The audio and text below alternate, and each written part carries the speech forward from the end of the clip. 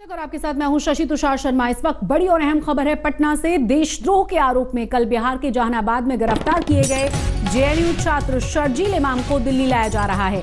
आपको बता दें कि थोड़ी ही देर पहले पटना के गर्दनीबाग महिला थाने से शर्जील को लेकर दिल्ली पुलिस की क्राइम ब्रांच की टीम पटना एयरपोर्ट पहुँची है और अब से कुछ ही देर बाद वो यहाँ से रवाना हो जाएँगे। तो जहानाबाद से शर्जिल की गिरफ्तारी कल हुई थी। प्रक्रिया में देरी होने की वजह से कल दिल्ली उसे नहीं लाया जा सका था। ट्रांजिट रिमांड कल ही दिल्ली पुलिस को मिल गई थी।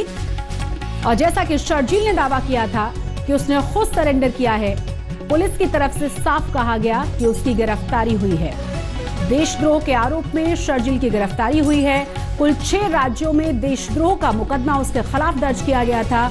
एएमयू में दिए गए उसके भाषण के बाद।